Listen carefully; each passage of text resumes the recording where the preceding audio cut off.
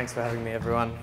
Um, yeah, thanks for this opportunity to talk on this uh, topic today. It's given me um, a great pleasure to uh, reminisce over the past nine years on this theme and reflect on some of the work I've been doing. Um, and then sort of think about what it means to be sort of good architecture when it's at such a monumental scale. And so, as a way of starting this topic, I sort of thought about uh, the Melbourne skyline, so something we can all recognise. And some of those early questions was, well, how does it make you feel? Um, you know, and for me, driving back from the beach, I would see it as a marketplace. I'd have a bit of a sense of pride because some of those towers I've, I've had the pleasure to working on, um, especially the, the one in the bottom left-hand corner. Um, so yeah, but the difference is when you get up and stand from underneath it, like what, what is that feeling? You know, and I'd ask, you know, is it, is it a sense of awe? Is it this sort of great, massive, uh, you know, monument, or is it, is it overbearing? And um, I think by thinking of this theme monumental, I've started to sort of try and work out where that distinction is. And somewhere where I've landed is um, the, the image on the right hand side, which I came across on a site visit in Chengdu, and it's, it's one of the biggest, if not the biggest, shopping center in the world. So it's, it's 500 meters by 400 wide, which is almost two times the size of that tower uh, in, in dimension.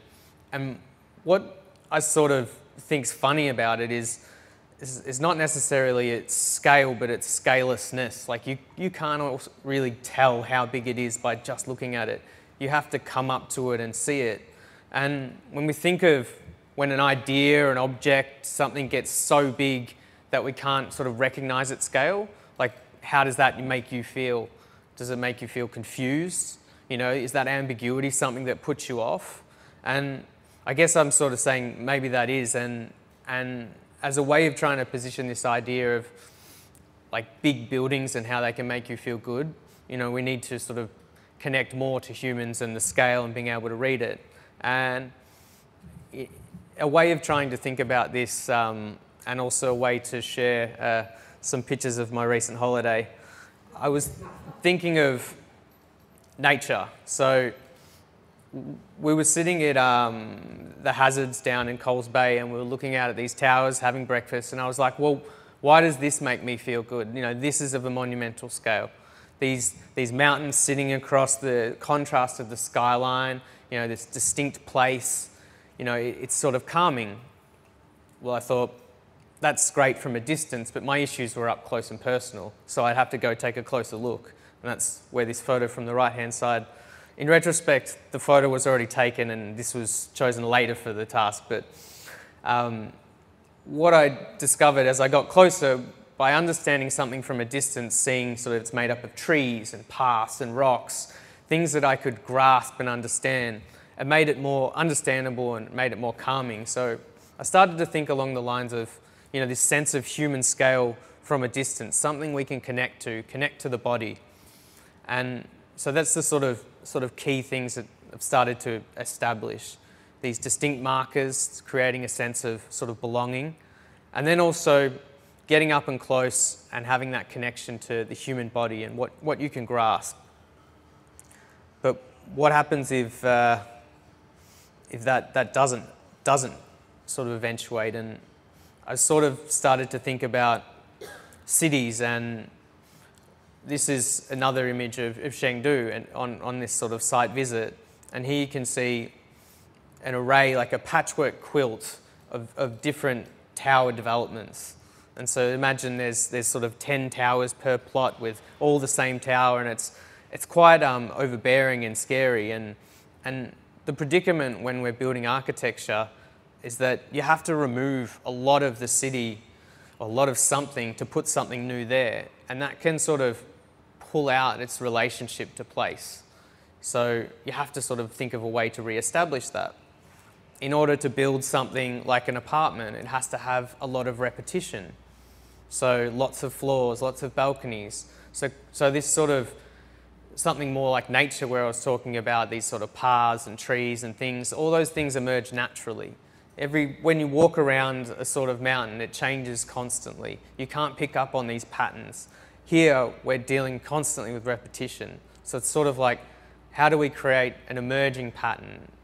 Um, so, so this was the sort of the, I guess the the issues that that we face.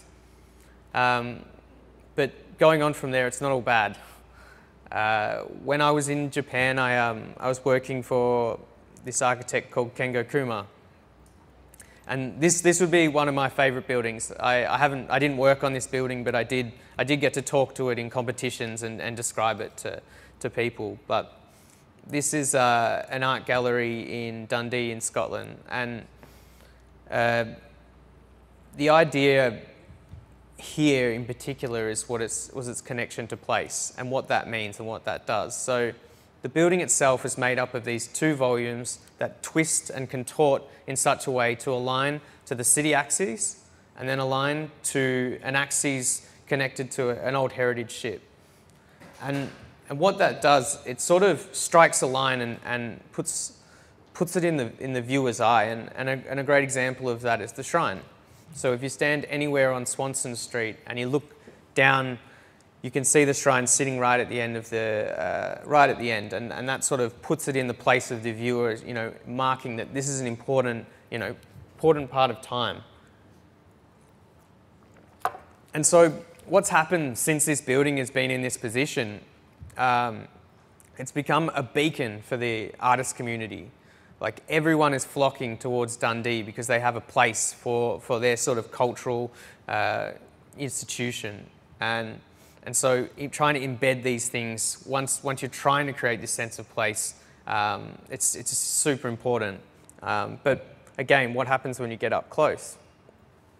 So one of the keys to the building is its, uh, its position on the river and the way it sort of contorts and and twists is in reminiscent of the cliffs of Scotland.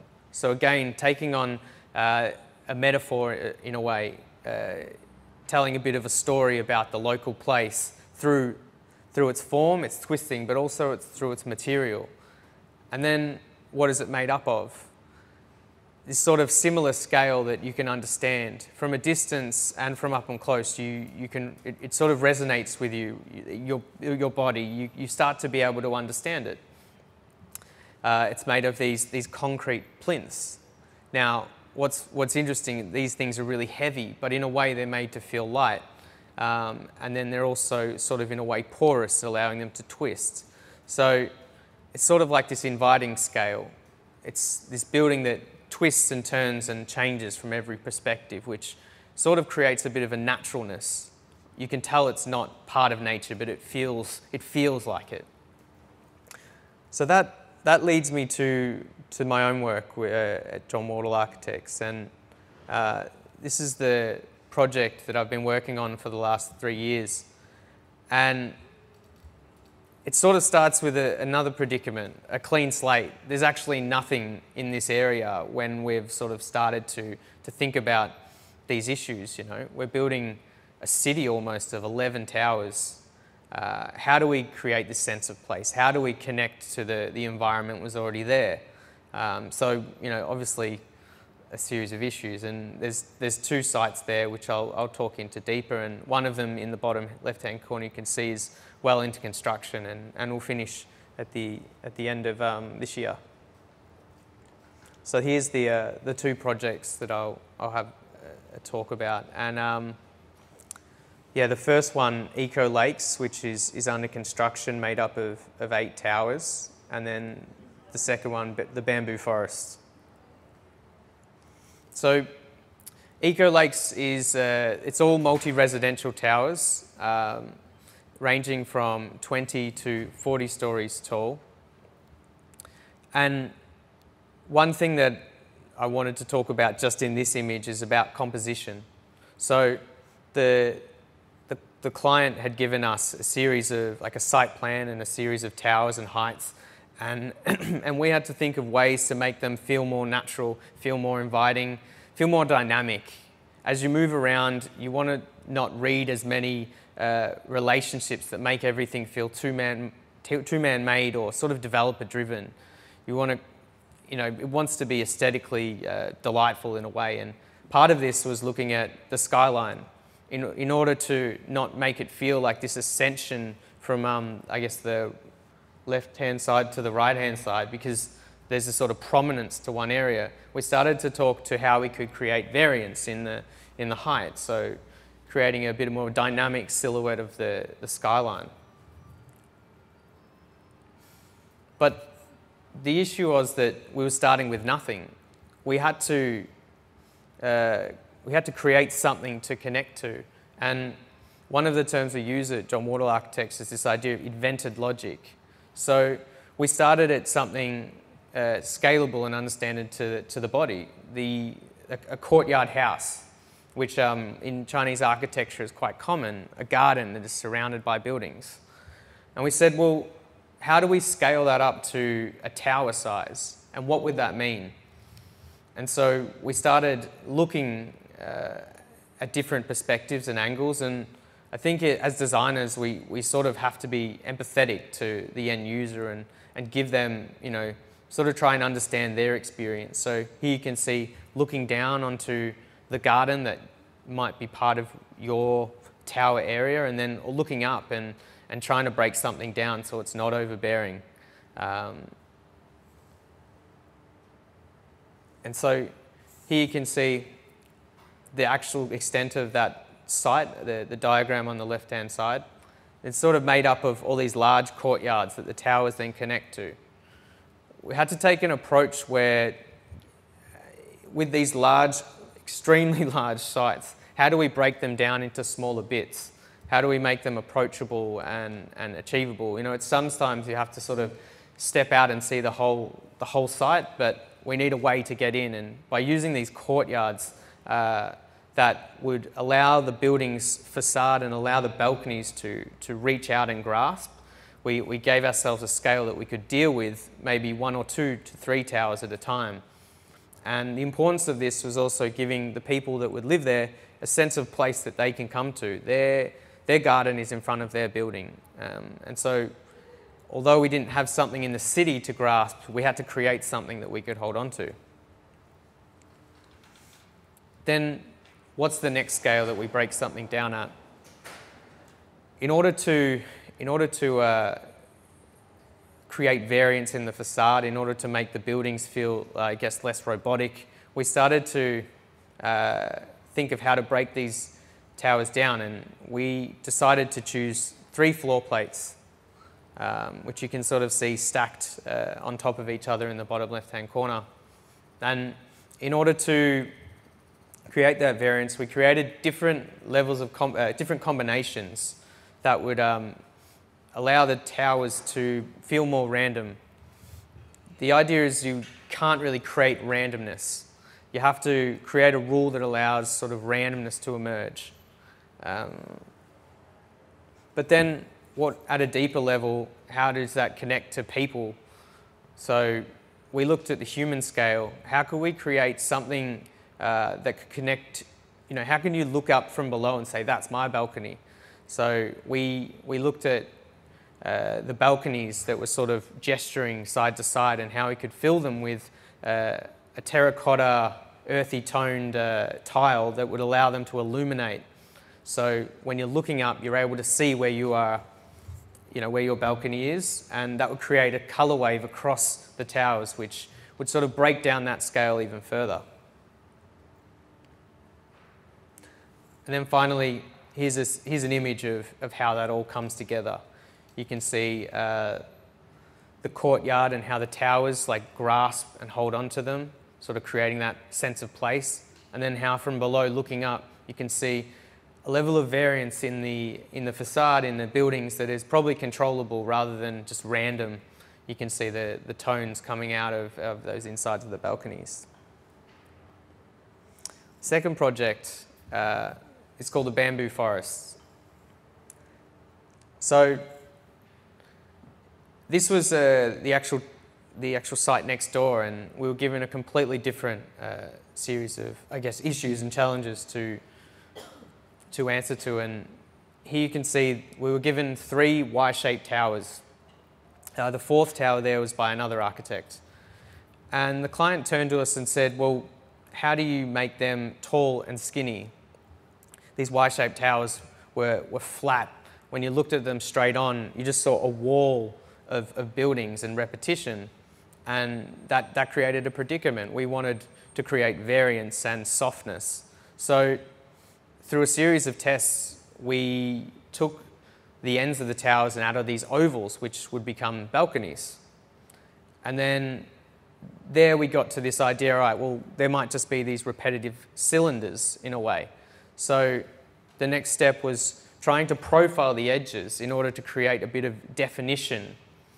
And it started to come across as this idea of a, a piece of bamboo. So imagine the sort of curving edges of the bamboo.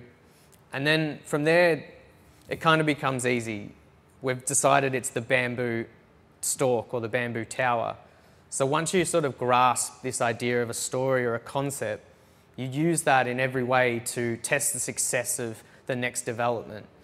So the next question was how do we deal with the rooftops? Maybe we have to cut them as though it's a piece of bamboo in order to allow them to uh, be more defined from the next one. And then it goes even further. So we've got this bamboo towers. We've also been given, in the foreground you can see here, is sort of green undulating land. We were asked to design a whole retail precinct. As we worked through different options, we came to maybe it needs to be more connected and integrated, like a holistic concept. So the bamboo towers perfectly land into this undulating forest floor, creating the bamboo forests. Once we started thinking this as a, a full story, it made it feel like, yes, there is going to be a sense of place. It's going to feel holistic and, and purposeful. Um, it feels like it'll be a nice place to be. And then as we start to use sort of nature to define and think about the moves that we're making, and this one might be a little bit hard to grasp, but you can see the levels like in, in the diagram, and some of them step down. But what's interesting about how the levels uh, are, are, intersected uh, is how, how do I explain this? in order to create courtyards and, and flat moments, we think of it as pooling water. So when you look at the diagram, there's a naturalness. So you can see there's a courtyard where lots of people are gathering. In a way to make that feel natural, you know, you imagine the water's pooling at the bottom and you cut that line perfectly. So you're starting to use nature as a way to make all these decisions as you go. You know, this big con concept overarching, you know, defines it. But then these buildings can't be sculptures. So how do we, how do we create a, a rule or a pattern and allow something to emerge? So we looked at the three stalks. We created a series of sequences, nine, seven, five, and then we rearranged them in different parts of the towers so nothing would align. We don't want one stalk to perfectly align to the next. It's, it's quite simple, but when you look at them, it tricks your eye. Everything starts to disappear. And it's, it's really important to uh, create these emergent patterns. Um, but then how do you take that further? When you look at nature, you might find cues that give you more answers in how you can create or make your concept even stronger. Another thing we looked at was, well, we only have the balcony to work with in order to create this uh, this stalk, this, this sort of bamboo shape. So it's all about this horizontality. So we, we started looking at colour. And in order to create contrast and make this big Y shape disappear from below, we, we gave it a recessive colour, which is that dark grey. In order to make it really pop, these green stalks, we faded from green into the sort of white. So imagine like when you sort of close your knuckles, that white is the highest contrast to the black. So the fattest part of the ring, the, the most defined part of the stalk, is the highest contrast to that color from below. So, and you can see looking at the, uh, the picture of the bamboo, how that's sort of, um, sort of connecting there. And finally, you can see the whole uh, composition together.